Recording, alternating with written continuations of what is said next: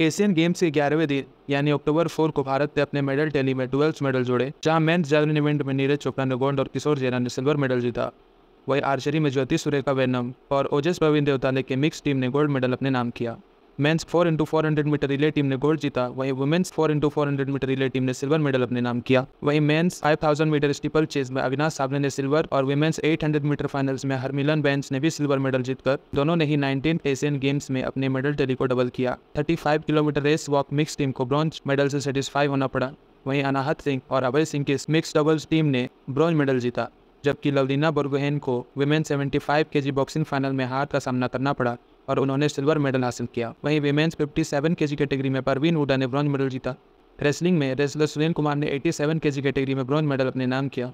इसी के साथ ओवरऑल मेडल टेरी में अक्टूबर फोर तक 81 मेडल्स के साथ भारत चौथे स्थान पर है।